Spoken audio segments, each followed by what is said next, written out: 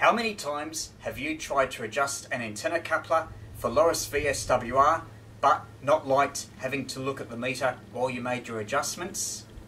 Many times, I bet. That's where having an audible indication can be handy. There are a few designs on the web, but they use a few more parts than I would have liked. And what if you already have an SWR meter or homebrew resistive bridge? Wouldn't it be good if you could put a sound indication on that without having to modify the unit? In this video, I'll tell you how you can. I modified a homebrew resistive antenna bridge so it gives you a sound indication as well as the meter movement. So how do you make your resistive bridge audible? As you might have seen in a previous video, the first thing I did was just to connect a piezo transducer to it.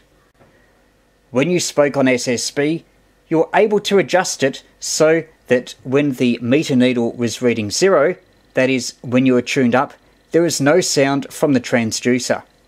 The main problem with that arrangement is you had to be on SSB, CW wasn't so good, and the volume from the transducer was quite low, so you had to pretty much hold it up to your ear. Assuming you're willing to use a battery, there are some alternatives. The first thing I looked at was this mini notebook on the 555 timer by Forrest Mims, sold by Radio Shack, or Tandy as they were known in Australia. Page 15 has a circuit for a voltage controlled oscillator. You varied the voltage on pin 5 and the tone output from the speaker changed in pitch. That worked but wasn't quite what I needed. The lower the input voltage, the higher the tone frequency. I didn't like that. The idea of the tone going low or almost disappearing is just intuitively better, at least in my mind, if you're trying to adjust something for a null. You could have done things like inverters, op amps, etc. And if you do a search on the web, there are some alternative circuits.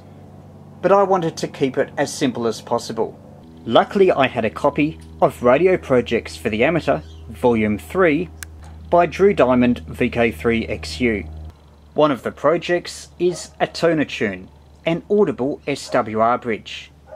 Since I already had the resistive bridge, I didn't need the power detecting head of the SWR indicator. But the audio circuitry could be useful.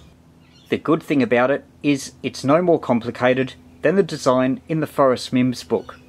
And when you adjust it to a null, low voltage means that the oscillator goes very low in frequency and then cuts out.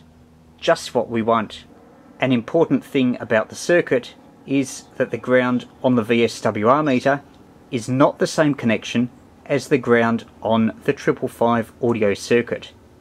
That doesn't matter because you've got the 9 volt battery and that portion is floating. It's ugly but it works. Here's what I built. We'll test it in a moment. This is the resistive antenna bridge. No modifications are made to it, except for two wires in parallel with the meter movement. These wires go to these clip leads, which go to the external 555 VCO.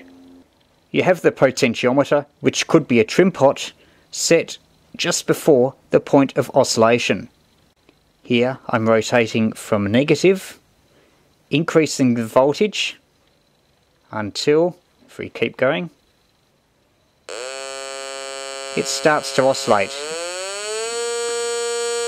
We go back.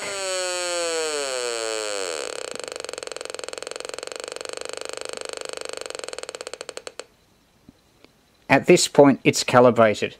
This is with no RF applied and the meter on the resistive bridge reading nothing. I've set the rig to FM, though you could use it on CW as well, and we'll just apply carrier.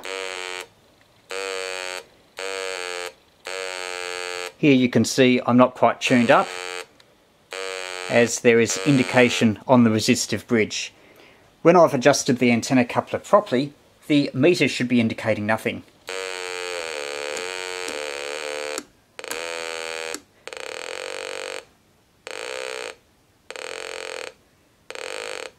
We've got the coil setting right and adjusting the variable capacitors.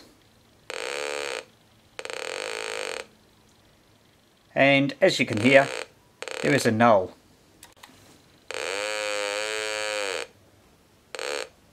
Now we'll try another band and we'll have to try and tune for a null.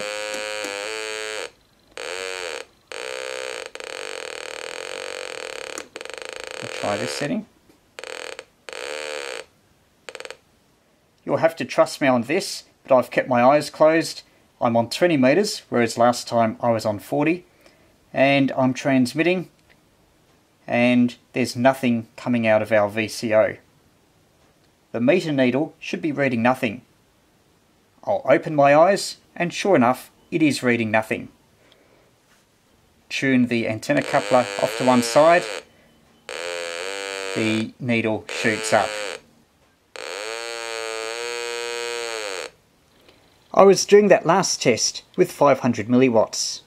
We'll go up to 5 watts and the capacitor tuning is sharper.